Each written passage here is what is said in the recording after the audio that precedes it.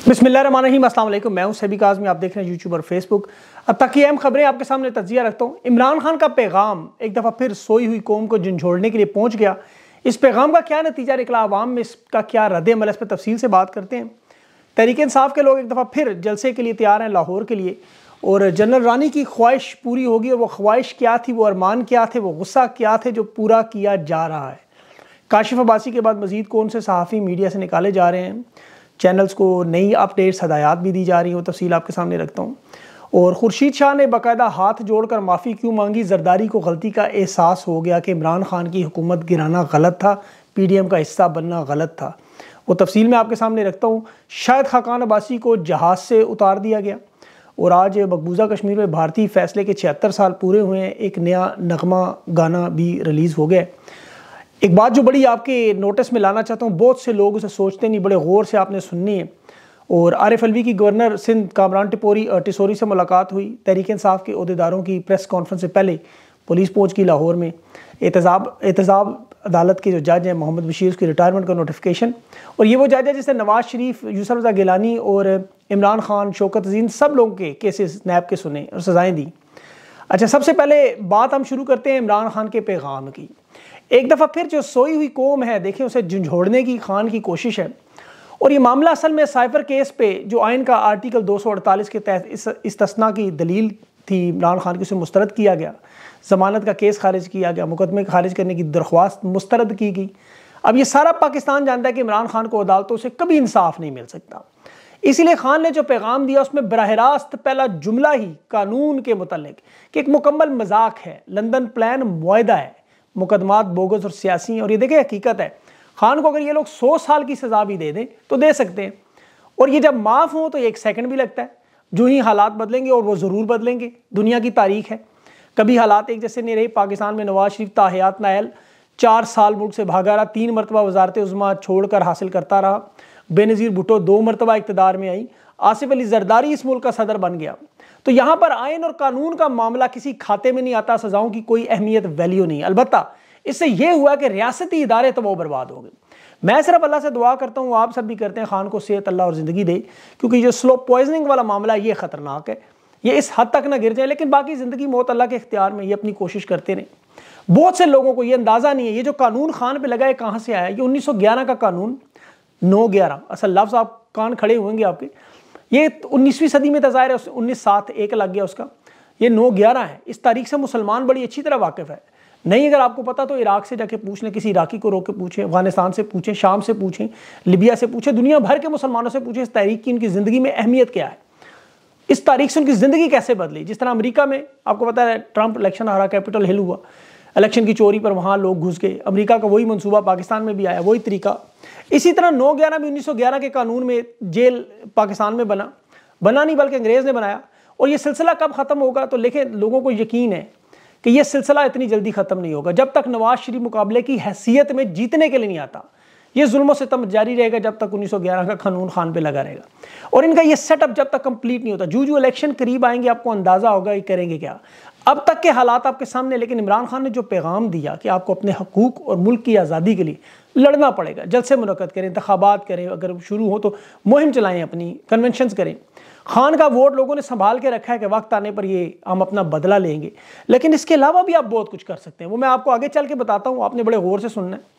लेकिन फ़िलहाल आप अपनी जमहूरी जदोजहद जारी रखें। अब देखें, इस अभी जो लाहौर में कॉन्फ्रेंस रोकी गई, हालाँकि डिप्टी कमिश्नर से इजाज़तनामा तहरीक इंसाफ मीनार पाकिस्तान पर जलसे का ऐलान करी है, और ये कॉन्फ्रेंस रोकने का मकसद भी यही था। तो दो तरीके देखिए इलेक्शन जो नवंबर में आपको पता है, जब तक अमेरिका के नहीं होंगे, या जब तक वो आपको पता है पाकिस्तान के हालात नहीं बदलेंगे। दूसरा आपको पता है अवाम जिस तरह दुनिया की आवाम निकली मुख्तलिफ़ अकवाम निकली इस तरह आप लोग जो बर्फ़ से जब तक ठंडे हुए हैं, उतरेंगे नहीं तो उस वक्त तक मामला बदलेंगे नहीं। तो मैं आपका ज़्यादा इम्तहान नहीं लेना चाहता। ये सारे मनसूबे London plan, Geneva plan, Dubai plan, ये सारे इनके मौजूद हैं, एक फेल होता है, दूसरा। ये जो असल माहा है लंदन का, वो अभी तक चल रहा है। और लोग सोच रहे हैं कि आसिफ जरदारी इसमें कहाँ गायब हो गया अचानक। जिसने इमरान खान के खिलाफ ये अदम अतमाद की तहरीक बल्कि से मंजूर कराया, सारा मामला किया। तो ये देखें, सबसे बड़ा इसका किरदार था। ये अचानक गायब इसलिए हुआ कि दुबई में इसके साथ जो मनसूबा था कि नवाज़ शरीफ से यहाँ पे से फिर एक दफ़ा धोखा किया गया। सोलह महीने इसने शहबाज शरीफ की हुकूमत के लाने के लिए कहा कि चलो अगली बारी बिलावल की प्रोजेक्ट बिलावल, आपको याद होगा। इसके वह गुमान भी नहीं था कि मनसूबा माहा बदलेगा और नवाज़ शरीफ को वापस लाएँगे। वो यही समझ रहा था, नवाज़ शरीफ वापस नहीं आएगा। यहाँ इसको अपनी गलती का एहसास हो चुका है। यही वजह है, खुर्शीद शाह हाथ जोड़ के कह रहे हैं कि हम पीडीएम का हिस्सा रहे, हमें माफ़ करें। सियासी तौर पर ये लोग तहरीक इंसाफ से जुड़ना चाहते हैं। लेकिन इमरान खान को पता है कि ये लोग मुनाफ्त सियासत इनकी मुनाफ्त का नाम है। इन्हें कहे, इमरान खान के इलेक्शन से बाइकआउट करें, फिर जुड़ेंगे, फिर मज़ा आए। लेकिन खान इलेक्शन से बाइकआउट नहीं करेगा, लेकिन इनका इम्तहान ज़रूर हो जाएगा। बहरहाल, ये दूर की कोड़ी है। तमाम मनसूबे जो इनके वो नाकाम है। अवाम अभी भी इधर ही मौजूद है और इनके जितना ज़ोर लगाने से टूट नहीं रही। अवाम उल्टा बढ़ रही है। बल्कि अब ये इस लेवल पे आगे कहने पे कि जो उखाड़ना है, उखाड़ दो। उस तरह काम डालते हों, पुलिस हो, पूरा निज़ाम हो। मनसूबा मरहला बाद मरहला, आपको पता है, जिस तरह नवाज़ को बना संवार के लाए, कबूतरबाजी करवाई, मुल्क के सारे वसाइल झोंक दिए उस लाहौर ड्रामे में। और फिर भी इसके पास, आपको पता है, सियासतदानों से प्रेस कॉन्फ्रेंस करवाई इंटरव्यू करवाए, अब सोशल मीडिया के पीछे लगे हुए हैं। लेकिन तहरीक इंसाफ की सबसे बड़ी ताकत इन्हें पता है सोशल मीडिया। अब ये लंदन प्लान जो है, देखें, ये कोई हिंदुस्तान की, बिल्कुल आप समझ लें, बॉलीवुड की एक फ़िल्म थी, पूरी उसमें। डायरेक्टर ने कहा, म्यूज़िक तो उसके बाद डालते हैं, आपको पता है, सहाफ़ी। ब्यूरोक्रेसी सब उठ के नाचना शुरू हो गया अपने अपने किरदार। हर एक को एक किरदार, एक एक सीन दिया गया था। नवाज़ शरीफ को एयरपोर्ट से लाने से लेकर इलेक्शन कमीशन में नादरा की टेक्नोलॉजी और बैलेट पेपर के ऊपर ठप्पे तक, इन्होंने हर सीन बनाया हुआ है। ये फ़िल्म हर दो तीन साल बाद आपको पता है, ये दोबारा तैयार करते हैं रिलीज़ करते हैं। बदकिस्मती इस दफ़ा ये हुई कि फ़िल्म रिलीज़ होने से पहले आवाम के हाथ लग गई। आवाम ने उसकी रिलीज़ से पहले ही सारी फ़िल्म देख ली। अब इस फ़िल्म का जो दी एंड है, वो बड़ा अजीब है। उसमें आखिरी किरदार जो है, वो आवाम का है। आखिरी सीन आवाम का है। उसके बाद ये फ़िल्म खत्म होगी, वरना हर दो तीन साल बाद इस फ़िल्म की आपको पता है कॉपियाँ आती रहेंगी। और ये सिर्फ़ फ़िल्म पाकिस्तान में नहीं, आपको तुर्की में भी चली थी। वहाँ तैयब अर्दगान के खिलाफ भी चलाई थी, लेकिन अवाम ने उसका दी एंड बदल दिया। ये फ़िल्म ईरान में भी चली थी उन्नीस सौ अठहत्तर के बाद, लेकिन उसके बाद ये फ़िल्म वहाँ बैन होगी बांग्लादेश में भी कुछ बनने के बाद, उन्नीस सौ इकहत्तर के बाद फ़िल्में चली, लेकिन उसके डायरेक्टर, प्रोड्यूसर पुराने थे बरखप के नए जो आए उन्होंने फ़िल्म ही बदल दी, उसके बाद फिर नई कहानियों पर वो काम कर रहे हैं। उसमें मुआशी, तरक्की, टेक्नोलॉजी, इन चीज़ों पे, जदीद चीज़ों पे काम कर रहे हैं। वो आगे निकल गए बोल। इस फ़िल्म में सरमाया हदायतकारी अमेरिका से बरह रास्त, आपको पता है बड़े बड़े हदायतकार हैं हॉलीवुड के। वो जो कहते हैं, वैसा ही होता है, और अदाकार तो यहाँ बेशुमार मौजूद है।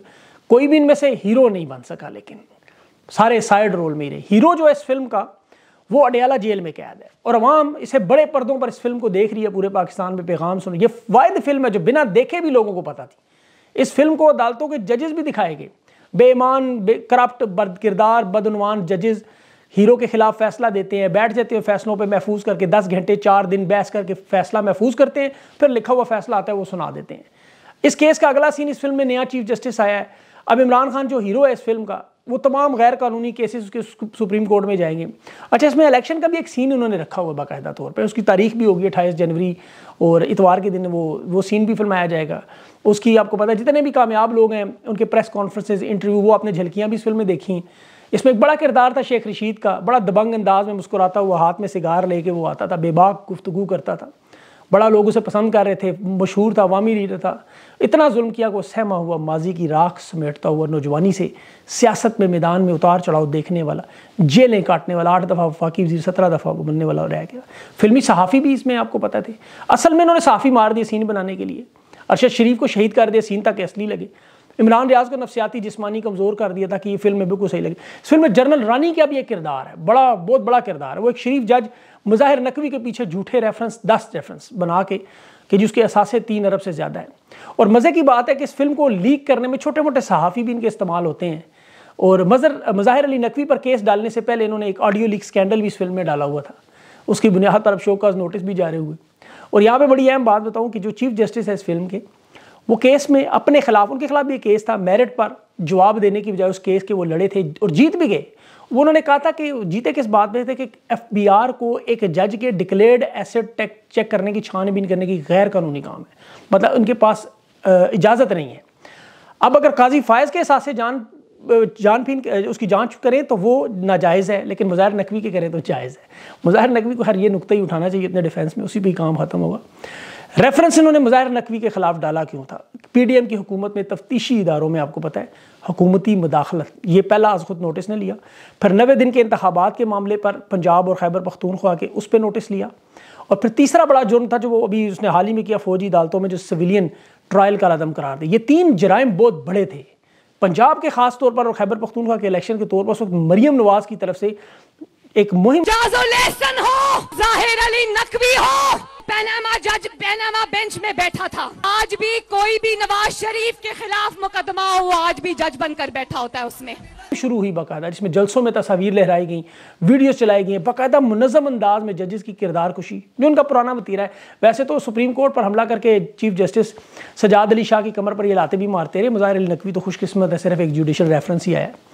इन्होंने जो करना था कर लिया इस फ़िल्म में जो जो कर सकते थे, जो सीन अब ये अपने लोगों पर भी सीधे हो रहे खकान अब्बासी को चीन जाना था। वहाँ जहाज़ से उसे कि जी क्लियरेंस नहीं दी, जहाज़ से पकड़ कर उतार दिया, कि जी आपका नाम एग्जिट कंट्रोल लिस्ट में हालाँकि खाकान अब्बासी अभी दो हफ़्ते पहले नवाज़ शरीफ से लंदन मिल के आए आपको याद होंगे वीडियोस अब ये चूँकि पाकिस्तान में मुलाकात नहीं कर रहा, मामला यहाँ चल रहा है इनका।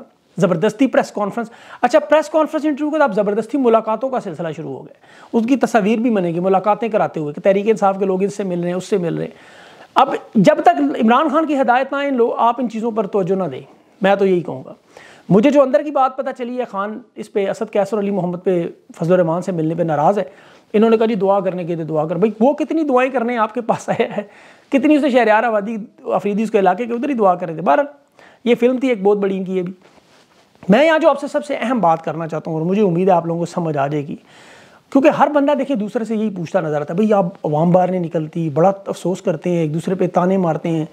लेकिन मैं आपसे ये नहीं कहता आप बाहर निकले, क्योंकि आप निकले थे खान के लिए जिस दिन हुकूमत गई, बहुत ज़्यादा निकले, बगैर की आदत के निकले, फिर आप लॉन्ग मार्च में भी निकले, जलसों में भी निकलते रहे, एहतजाज भी करते रहे तो बिलाशुबा तादाद आपकी इतनी नहीं थी जितनी आपका हक बनता है। मसलन लाहौर की तकरीबन एक करोड़ अस्सी लाख आबादी है तो आप लोग तो बीस पच्चीस हज़ार ही निकलते रहे, अगर वो बड़ी तादाद में निकलते तो ज़ाहिर बड़ी मेजोरिटी होती तो वो बात और थी। लेकिन चले, नहीं निकलते, ना निकलें। इस वक्त मुल्क का अस्सी फ़ीसद तबका इमरान खान के साथ खड़ा ये सब मुतफिक है। कहीं मैं अगर गलत कहता हूँ तो कॉमेंट्स में लिख दें। लेकिन यहाँ ना निकलने वालों से कोई गिला नहीं।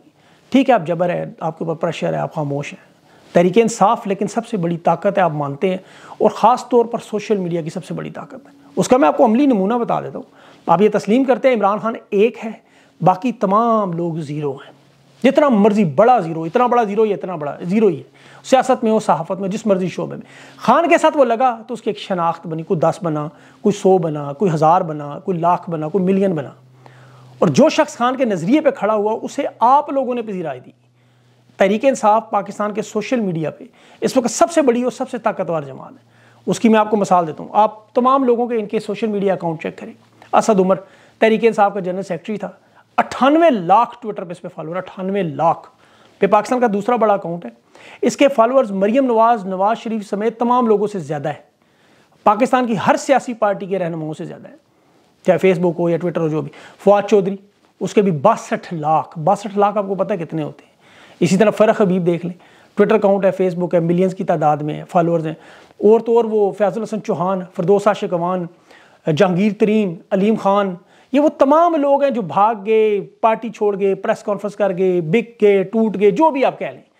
लेकिन ये तमाम लोग उस नज़रिए से हट गए और ये तमाम ज़ीरो अभी ज़ीरो नहीं हुए। देखिए, एहतजाज में आपको मसला मैं मानता हूँ, जुल्म है, जबर है, वगैरह वगैरह। लेकिन ट्विटर पर, फेसबुक पर अनफॉलो करने में आपको बटन दबाने में क्या मसला है? क्या इनके फॉलोअर हिंदुस्तान से आए या इसराइल से आए? या इन्होंने ख़रीदे हुए इनके फॉलोअर्स आप लोग हैं। और आप में से कितने लोगों ने अनफॉलो किया जब इमरान खान को ये छोड़ के गए? देखें, जो यूरोपियन माशरे में तरह कैसे फ़र्क है आप में उनमें, क्या उम्मीद की जा सकती है बाहर निकले? ये लोग जिस दिन खान को छोड़ के गए, उसी दिन हर वो बंदा जो खान के साथ या तहरीक इंसाफ की वजह से इन्हें ज्वाइन कर गया, वो छोड़ देता। जिस तरह आप लोग जूती चोर मस्जिद में पकड़ा जाए मार मार के सत्यानाश करते हैं, लेकिन बड़ा चोर आए तो आप सारे सीधे हो जाते अब जिस मर्ज़ी पार्टी का होता हो, ये इनके सारे गुनाह माफ़ करने में और गुनाह करने में आपका जिस तरह ताकतवर जजेस हैं अमेरिका में कोई सियासतदान सेलिब्रिटी ऐसी हरकत करे, अगले दिन सोशल मीडिया खोलते ही उसे अंदाज़ा हो कि क्या ब्लेंडर मारा, लोग दो मिनट में इसको अनफॉलो करते। आप उन्हें हीरो से ज़ीरो बनाते ज़ीरो से हीरो क्यों नहीं बनाते? आपको अपनी ताकत का अंदाज़ा क्यों नहीं होता? वो कायद अजम मोहम्मद अली जिना का एक जुमला, ताकत का असल सरचश्मा वाम, ये क्यों नहीं समझ आता आपको? ये अनफॉलो करने से इन्हें कितना फ़र्क पड़ता है? असद उमर को ये अगले दिन आठ मिलियन से आठ लाख पे पहुँचता तो आपको अंदाज़ा होता कि प्रेस कॉन्फ्रेंस करके मैंने कर क्या दिए? ये अकाउंट खोलते, हज़ारों में नज़र आता है इन्हें झटके लगते। इनकी सारी ताकत आप लोग हैं, वरना ये क्या है? अगर आपको मेरी बातें सुनकर हवा में वैसी तहलील हो जानी है, नहीं समझ आनी तो मैं गूँगे बैरों से बात कर रहा हूँ या किसी दीवार से कर रहा हूँ तो ठीक है। लेकिन आपको अपना एहतजाज रिकॉर्ड करवाने का तरीका आना चाहिए सुलझे हुए पढ़े लिखों वाला। और कम अज़ कम सोशल मीडिया पे तो इन्हें अनफॉलो कर दो। इन्हें पता तो चले, टीवी देखना छोड़ देते हो, ज़िंदा दिलाने कौम की तरह के भेड़ बकरियों की तरह सुनते रहोगे हर वक्त। इस वीडियो में आप, इस पैगाम को आपने फैलाना है और समझना है। मकसद मेरा कोई असद उम्र से मेरी कोई जिद नहीं है, मेरा उससे कोई दुश्मनी नहीं है, मुझे से कोई मसला नहीं है। आप फॉलो करें, ना करें, आपकी मर्ज़ी है। लेकिन मैं आपको एहतजाज का तरीका, एक जैनवन एक एहतजाज, जो पढ़े लिखे अंदाज में, जमहूरी अंदाज में एहतजाज, वो बता रहा हूँ, समझने वाले लोग जो नज़रिए पे हैं, जो नहीं है, उनमें कुछ तो फ़र्क रखें ना। आप सबको एक ही जगह में रगड़ देते हैं। तो इस निज़ाम का वरना आप भी हिस्सा है फिर जजेस पे गिला ना किया करें मीडिया पे गिला ना किया करें, बाकी लोगों पे गिला ना किया करें, गिला अपने आप से करें। अभी भी जितने लोग ये सुन रहे हैं मेरी आवाज़ आप अपने ज़मीर से पूछें, क्या आप इस प्रोसेस का हिस्सा हैं? अगर हैं तो अपनी गलती तस्लीम करें। दूसरों पर तनकीद करने के बजाय खुद अनफॉलो करें। फिर आपको समझ आएगी मैं कह रहा हूँ। इंशाल्लाह, अगली वीडियो में तफसील से बात करेंगे। मैं असल में इसराइल फ़लस्तीन के इशू से हटता जा रहा हूँ। इस पाकिस्तानी मिसाल और बहुत सारे लोग इस पर गिला भी कर रहे हैं। वो भी हमारा आपको पता है, उम्मत मुस्लिम का बहुत बड़ा मसला है। तो उस पर इंशाल्लाह अगली वीडियो मेरी उस पर होगी और कोशिश होगी मैं उस टॉपिक को भी साथ लेके चलूँ।